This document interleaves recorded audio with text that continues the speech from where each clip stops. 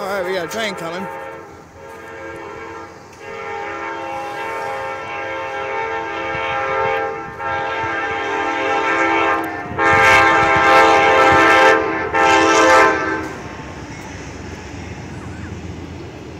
Amtrak engine number 162. Amtrak 162. Wow. And he goes out and stops over there.